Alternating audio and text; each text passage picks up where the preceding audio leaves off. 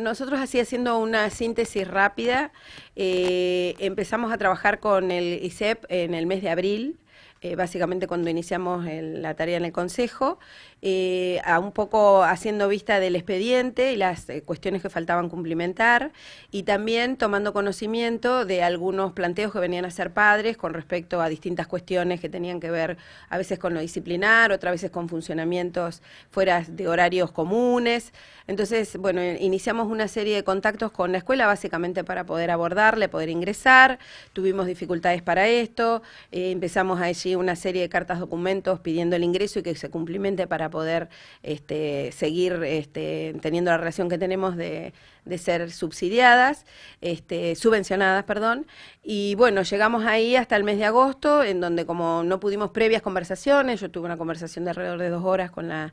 con la apoderada legal, también la profesora Benedetto, este, el profesor Ismael Enrique, y bueno, luego de esto tomamos la decisión de suspender, porque además la ley nos lo indica, suspender la subvención hasta tanto eh, se ponga derecho a la escuela. Bueno, entonces lo demás es público conocimiento. Eh, logramos la semana pasada ingresar a hacer tres días, tres primeros días de auditoría contable, pedagógica, este, organizativa y administrativa, y con estos primeros resultados, como nos comprometimos con los padres y también con las autoridades del colegio,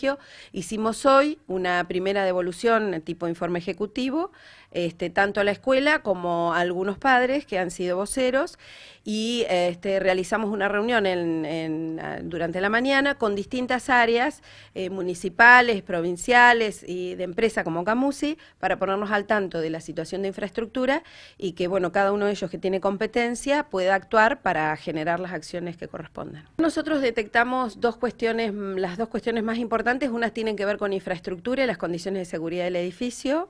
este, y después nosotros no, no obra en expediente y tampoco pudimos acceder en, el día que, auditamos, los días que auditamos, a la documentación que, por ejemplo, del conforme de, los planos, este, de todo lo que tiene que ver con las instalaciones, este, con los sanitarios, todo esto no estaba, pero básicamente este, nos preocupa mucho el tema de la seguridad y las posibilidades de evacuar ese edificio en caso de de alguna situación que, que Dios no permita